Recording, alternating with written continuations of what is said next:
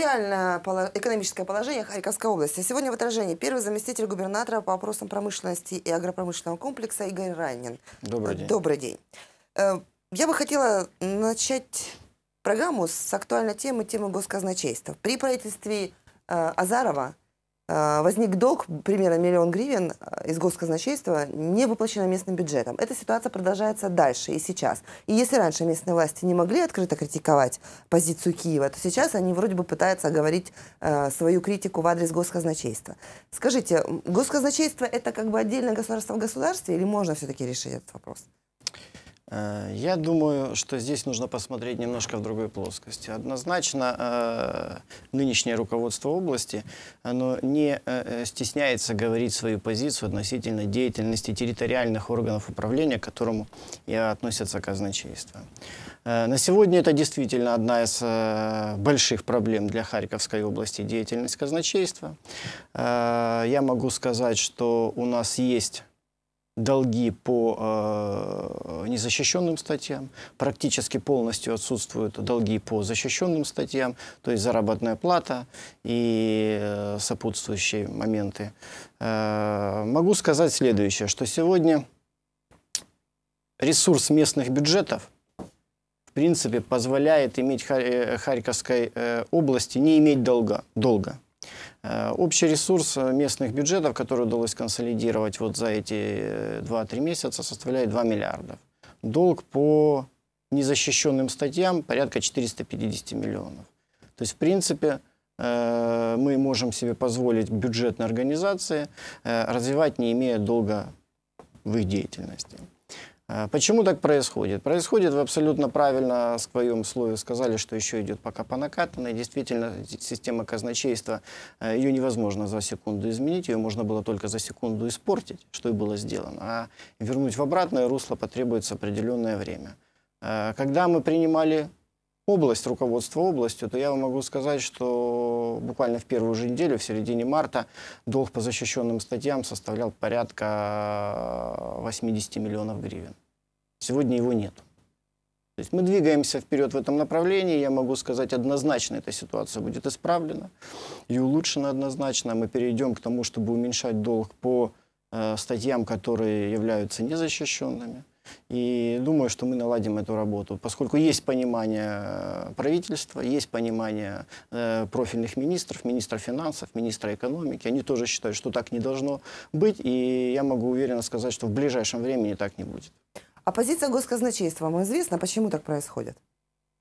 Почему э, госказначейство должно, э, должно местным бюджетам Харьковой области примерно миллион гривен?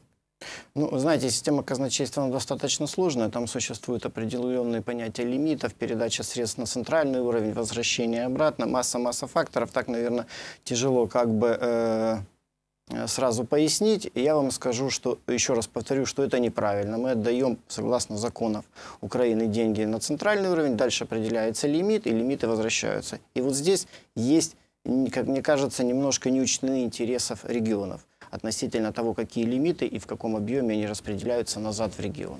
Но это решение правительства должно быть, решение кого?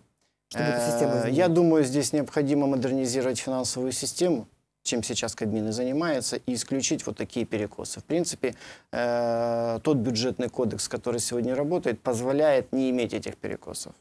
Накануне в Харькове прошло выездное заседание Кабинета министров. В принципе, такого давно не было. Э, были ли какие-то вопросы повестки дня или вообще темы, которые лично вас, как эксперта, как экономиста, удивили? Что вообще такие темы поднимаются вдруг? Выездного заседания Кабмина не было 8 лет. И учитывая стратегическую роль Харьковской области для экономики Украины, это очень плохо. Поэтому мы благодарны правительству в том, что выездное заседание Кабинета министров состоялось в Харьковской области, причем это первый регион, где состоялось выездное заседание нового правительства. И те вопросы, которые рассматривались, они были очень важны. Э, первый вопрос, который рассматривался на заседании Кабмина, это социально-экономическое, социально-политическое состояние Харьковской области. Глава областной администрации Игорь Болутов выступил с докладом, после чего ряд министров и премьер-министр провели обсуждение этих вопросов. Э, что нас волновало и какие вопросы мы поднимали? Мы поднимали, кстати, и вопрос казначейства, мы поднимали и вопрос э, окончания строительства филармонии, мы поднимали вопрос и э, продолжения строительства Харьковского метрополитена, и еще целый ряд вопросов, но основной вопрос касался деятельности промышленных предприятий Харьковской области. Э, и непосредственно деятельности государственного концерна «Укроборонпром», который занимается деятельностью предприятия оборонного комплекса. Это тоже, кстати, государство в государстве. Это государство в государстве, причем данный концерн был создан в 2010 году. Э, цель, официально заявленная создание этого концерна, была повышение эффективности финансово-экономической э, базы предприятия оборонного комплекса. Но получилось, как, к сожалению, последние годы получалось, все наоборот. И истинные причины были несколько другие, я поясню, какие. Э, для Харькова это очень важно. В Харькове 12 предприятий, э, которые относятся к сфере управления Укроборонпрома, плюс 5 э, научно-исследовательских институтов. Ну, крупнейший это завод Малышева, промышленное предприятие, чтобы было понятно телезрителям, о чем идет речь. И сама структура концерна выстроена таким образом, что такие крупные предприятия, как завод Малышева, к примеру, ФЭД, там, Протон, э, завод Чугуевская топливная аппаратура, они не могут распоряжаться своими средствами в принципе. Э, для того, чтобы, извините, грубо говоря, купить халат или э, производственные очки, они должны получить это разрешение в Угороборонпроме, э, да еще и там и подскажут, где их приобрести. Поэтому здесь полностью невозможность использования финансовых ресурсов со стороны таких крупных промышленных предприятий, конечно, тормозит их деятельность полное отсутствие поддержки со стороны оборонпрома как государственной структуры. Это имеет отношение только к Харькову или вообще ситуация в стране такая? Э, ситуация в стране в принципе такая. Я просто говорю о том, что Харьков крупный промышленный центр оборонной промышленности. Поэтому здесь для нас это наиболее болезненная деятельность Укроборонпрома. Еще раз скажу, 17 предприятий, 12 из них промышленных заводов. Э, и Абсолютно Укроборонпром мне предложил план реструктуризации этих предприятий. То есть, вполне, в принципе, не выполнил ничего из тех задач, ради которых он организовывался. Э, за эти два месяца, понятно, ситуация не изменилась, она и не могла измениться, измениться потому что это за сиюминутно не решается, и нужно выполнить целый ряд мероприятий. Мы предложили ликвидировать эту структуру. Укроборонпром. Укроборонпром. Но, безусловно, функции по развитию оборонной промышленности ликвидировать не то, что нельзя, а и невозможно. Вот. Мы э, выступили с предложением э, передать это функции Министерству экономики Украины. Почему? Объясню. Э, буквально месяц назад решением Кабинета министров было ликвидировано Министерство промышленной политики. Идет сейчас реорганизация путем вливания в Министерство экономики. Потому, поэтому абсолютно объективно, что функции оборонной промышленности должны на сегодня также влиться не отдельной структурой со своими административными сумасшедшими расходами, а быть в составе Министерства экономики. Во-первых, это поможет э, сэкономить э, средства, э, заработанные предприятиями промышленными, пустить их как оборотные на развитие собственных э, мощностей. А во-вторых, э, по моему мнению, это и улучшит управляемость, поскольку именно Министерство экономики должно комплексно развивать промышленность. Невозможно отдельно развивать промышленность, отдельно развивать экономику. Как это конкретно поможет Феду Протону Малышева? Э, это учить, если правильно подходить, это действительно поможет, потому что первое, еще раз повторюсь, э, это уменьшит административные расходы э, на содержание отдельной структуры. А за счет чего содержался оборонпром? За счет отчисления этих промышленных предприятий. То есть больше средств останется оборотных средств на самих предприятиях. Во-вторых, это должно изменить в принципе структуру, что предприятия не имеют права использовать заработанные ими финансовые средства. И третье, э, я думаю, что Министерство экономики в состоянии обязано подготовить план реструктуризации этих предприятий. Чтобы мы понимали, что э, Укроборонпром э, тратил сумасшедшие деньги на собственное содержание. Цифры большие, я сейчас их не могу назвать, да и не в этом суть, но при этом предприятия Укроборонпрома лидеры по задолженности по заработной плате. 25 миллионов непосредственно задолженность предприятий участников Укроборонпрома. А если взять еще и смежные производства, получается порядка 93 миллионов долг. То есть 80% от, всего, от всей суммы долга Харьковской области. А как это повлияет на имеющиеся в Харьковской области, на наших оборонных предприятиях иностранные такие большие заказы? Как это повлияет? Ну, мое видение, в принципе, вчера об этом и губернатор говорил, и премьер-министр согласился однозначно, что сфера загрузки этих предприятий – это сфера ответственности государства.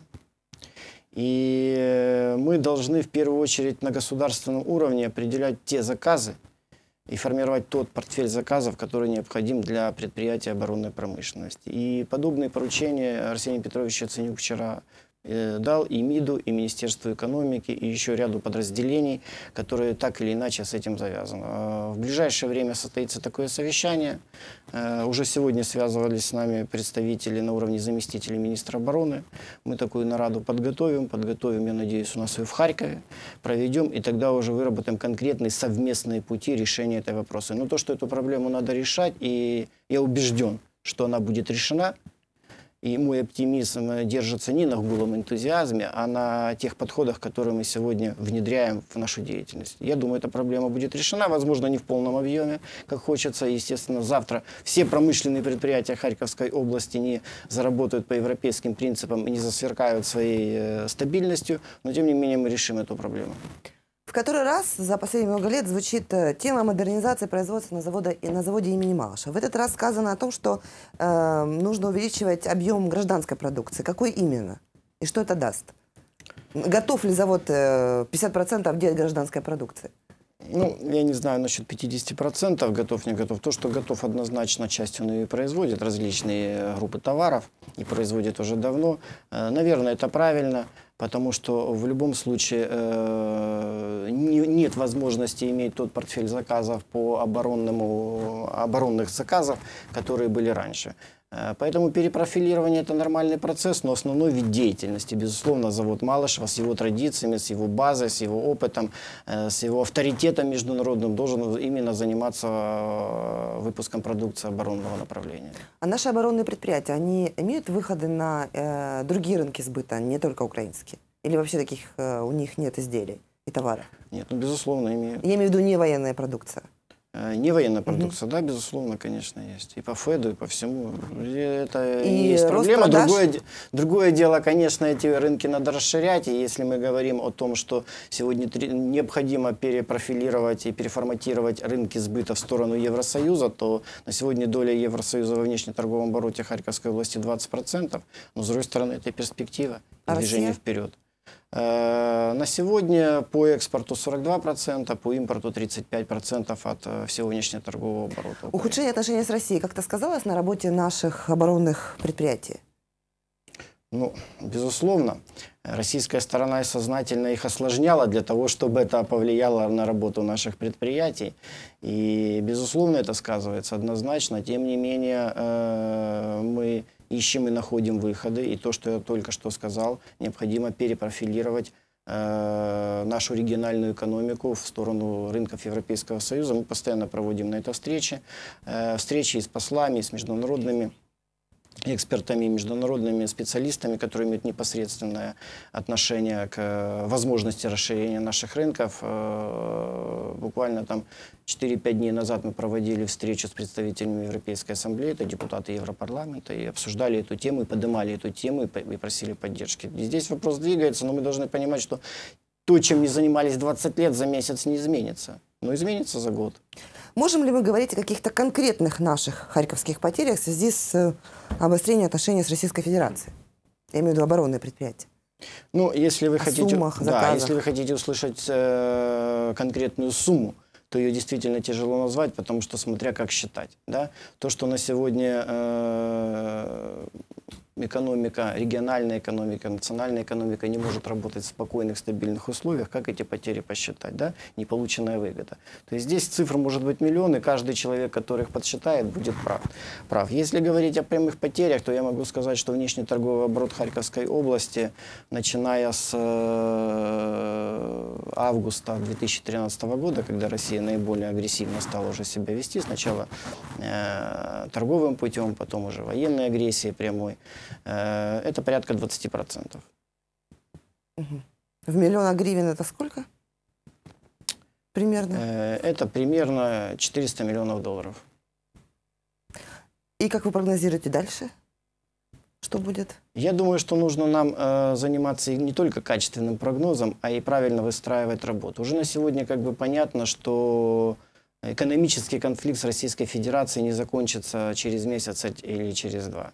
И вы знаете, может я и неправильно скажу, но с другой стороны это стимул для наших предприятий как можно быстрее выйти на европейские рынки. Российский рынок хоть для э, крупного бизнеса или для среднего бизнеса, для Харьковской области крайне удобен. По двум причинам, простым, чтобы не вдаваться в большой экономический анализ и быть понятным для людей, которые нас смотрят. Э, две простые причины. Первое – это логистика, то, что Российская Федерация рядом, а значит транспортные и логистические расходы гораздо ниже, чем Евросоюз. И второй момент – качество продукции. В России сегодня нет таких требований качества продукции, какие, такие э, как стандарты в Европейском Союзе.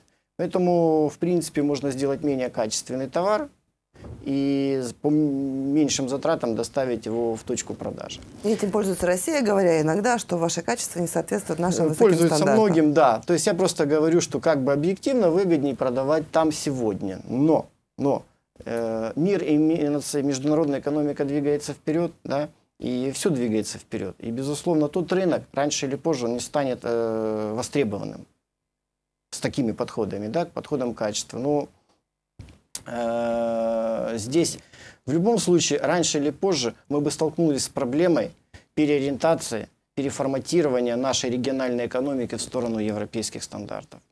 Возможно, бы это проходило мягче, но когда мягче, оно и дольше. ХТЗ остановился? Э, по ХТЗ есть проблемы в полном объеме, в том, который функции он должен выполнять. Он, конечно, сейчас не работает, но прям остановился тоже тяжело назвать. Опять же, связано с российскими отношениями. Безусловно. Да, это не вопрос сегодняшнего дня и не вопрос, скажем так, военных действий со стороны России. Вопрос той как раз торговой, экономической войны, которая началась в 2013 году, была и в 2012. Есть ли у нас крупные предприятия, которые сейчас не работают с Россией, потому что Россия им отказала по разным причинам, по причинам качества или каким-то другим причинам? Ну, я могу привести э, пример, к примеру, э, корпорация УПЭК. Это и э, Лозовской э, завод кузнечно-механический, у них большая задолженность по заработной плате, порядка 5 миллионов. А возникла она очень просто. Был российский заказ. Предприятие, Харьковское предприятие, этот заказ выполнило, а с ними пока не рассчитались. Обещают сделать это в конце мая. Какой долг? Э, долг по предприятию? Э, ну, боюсь ошибиться, но долг приличный, порядка там 20-30 миллионов. Долларов? Да. Это большой заказ, возник долг на предприятиях, создаются проблемы и на подшипниках, на Лазовском кузнечном, э, кузнечно-механическом заводе. То есть, э, как бы, пример непорядочного партнерства. Товар отгружен, произведен и отгружен, а средства не поступлены. На выездном заседании Кабмина в Харькове шла речь о модернизации подвижного состава Укрзалезницы. Э, то есть мы недавно имели, и сейчас э, имеем не все, но часть Hyundai все-таки работает на линиях. Э, некоторые поезда, которые раньше ходили до Hyundai и обслуживали э, короткие маршруты и были удобны пассажирам, поскольку останавливались очень часто, сняты с маршрутов. А сейчас правительство ставит вопрос о модернизации подвижного состава Укрзалезницы. Э, насколько это ну, удобно и комфортно будет для людей? Это ну, для людей или для предприятий? Для людей, имею в виду для пассажиров.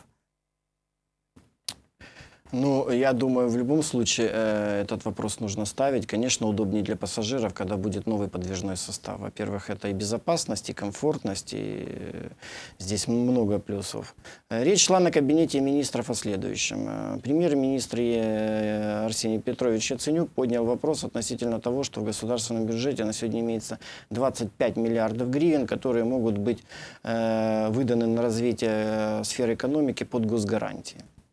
Э, безусловно, когда э, происходит такое кредитование под госгарантией, это э, желательно делать на предприятия государственного сектора экономики.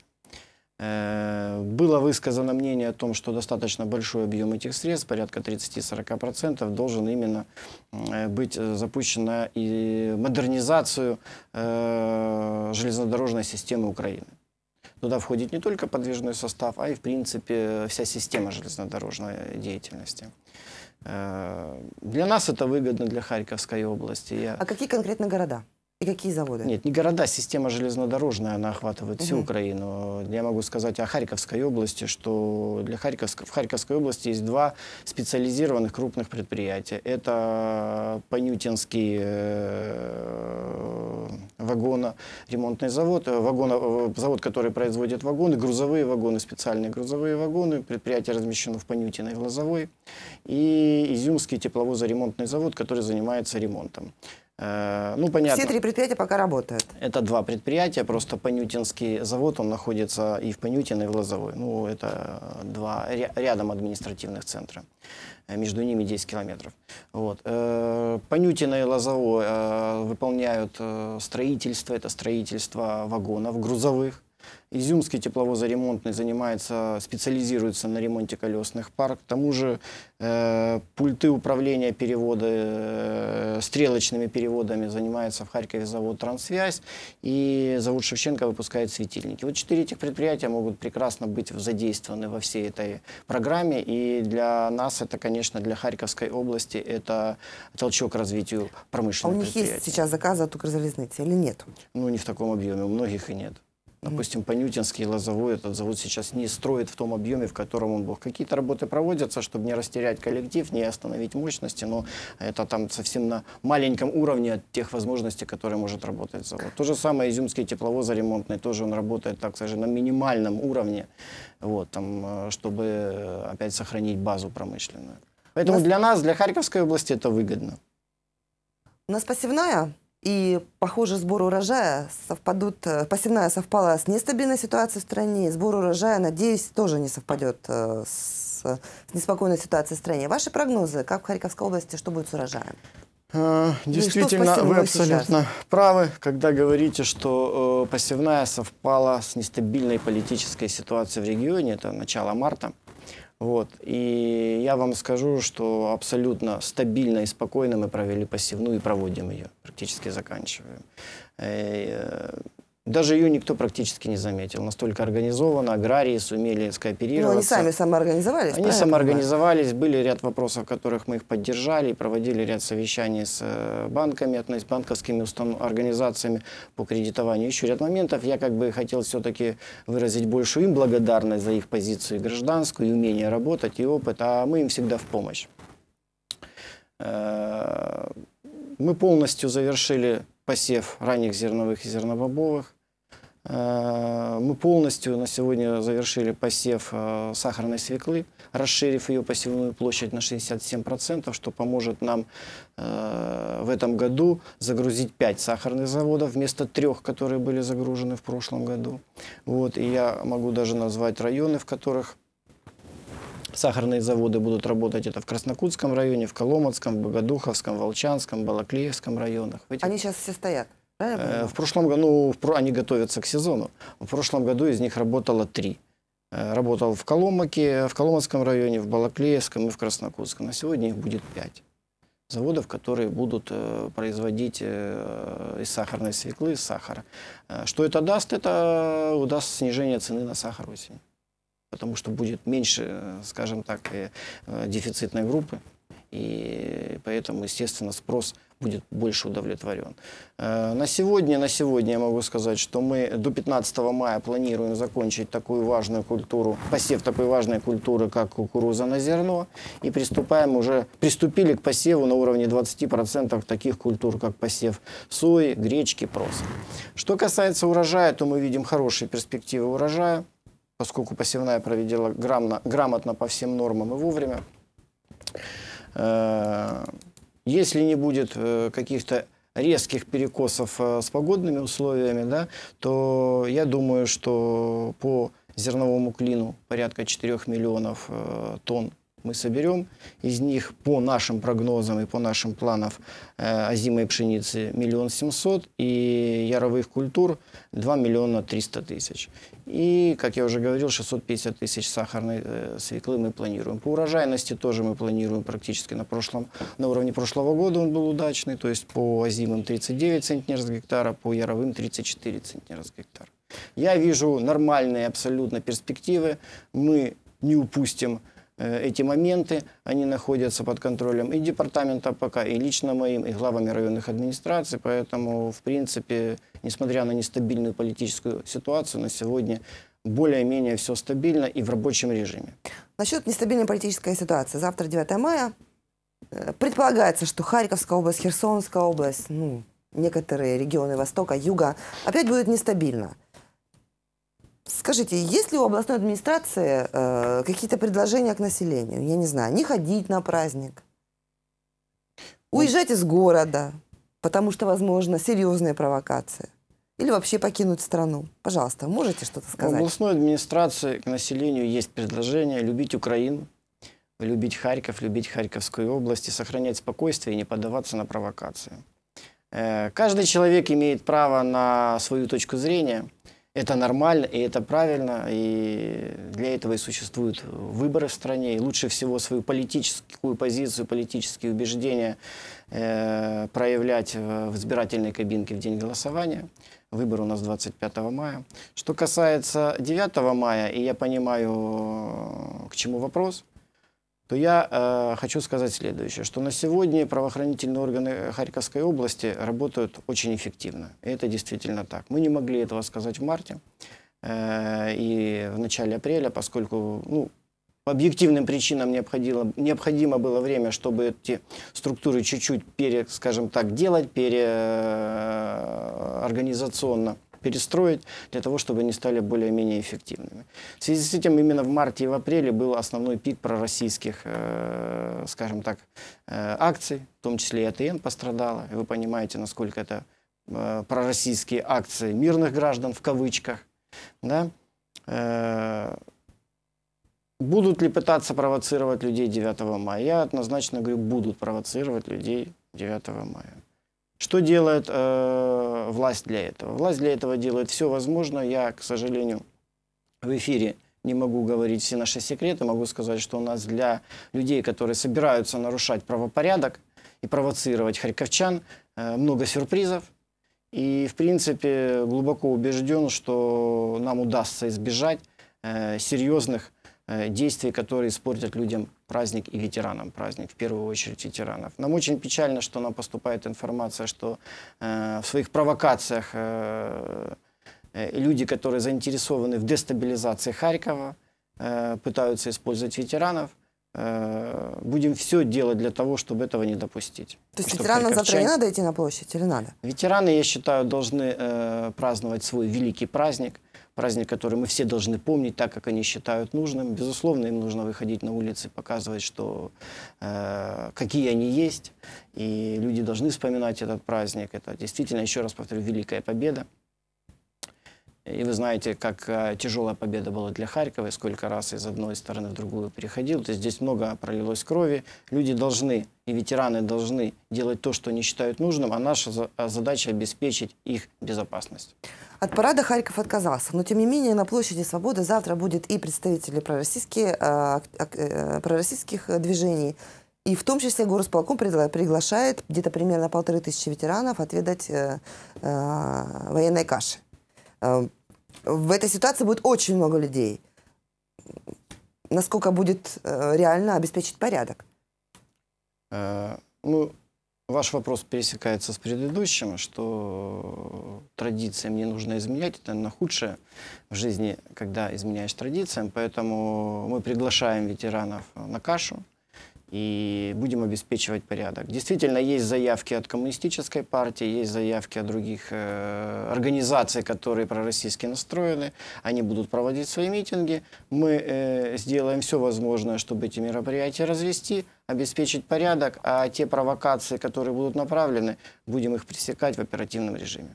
А, а те сюрпризы, о которых вы говорили, это из серии э, харьковского ноу-хау? Я вам их не скажу, могу сказать, что, что никакое ноу-хау, никакое ноу-хау, а все согласно законодательству Украины. И те люди, которые э, мирно выражают свою позицию, да, не направленную на изменение границ Харьковской области, нарушение правопорядка и насилие над э, другими людьми, они спокойно могут э, отдыхать и высказывать свою позицию. А те люди, вы- которые будут провоцировать и делать те действия, о которых я сказал, будут, э, эти действия будут жестко пресечены. Ну, в Харькове, допустим, мы можем сконцентрировать много правоохранителей. А что делать с Лозовой Изюмом, который на границе с Донбассом?